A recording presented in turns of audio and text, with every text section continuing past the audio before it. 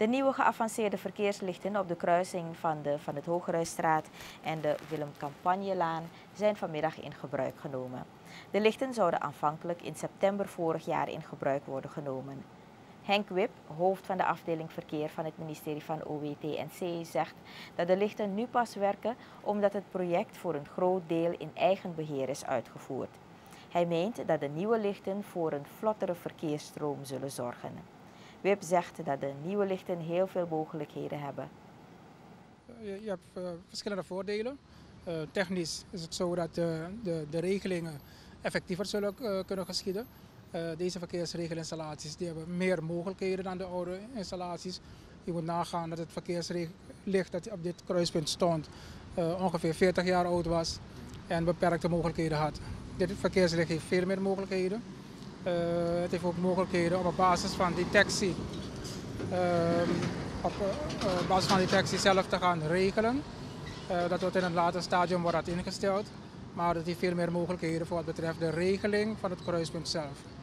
Want, want daar gaat het eigenlijk om. De, de, het verkeer, gaat dat vlotter verlopen nu deze verkeerslichten zijn aangelegd?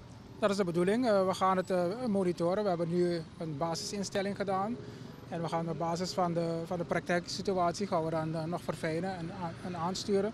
Er zijn combinaties mogelijk, er zijn verschillende instellingen mogelijk. En op basis daarvan zullen we verder werken. Consultant P. Gena zegt dat deze verkeerslichten de juiste zijn voor Suriname.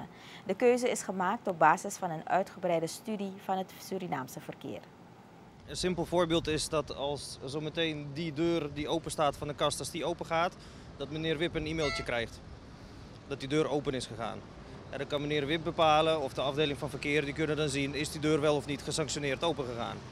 Een andere mogelijkheid is dat je uh, verschillende detectiemiddelen aan kunt sluiten aan dit apparaat. Dat betekent in de toekomst dat hier drukknoppen voor voetgangers zullen komen. Dus als een voetganger straks over wil steken, dan zal hij op een knop moeten drukken. En alleen dan zal hij groen krijgen. Hetzelfde geldt ook voor bromfietsers, het uh, andere langzaam verkeer die zullen straks ook gedetecteerd worden. En ook alleen dan groen krijgen wanneer er een bromfiets aanwezig is. En dit alles om te voorkomen dat er onnodig groen weggesnoept wordt van het snelle verkeer. Wat, wat op dit kruispunt met, met name heel, heel belangrijk is. Dat, dat, dat, zijn de enkele mogelijkheden, of de enkele uh, uh, voordelen die deze, deze apparatuur biedt.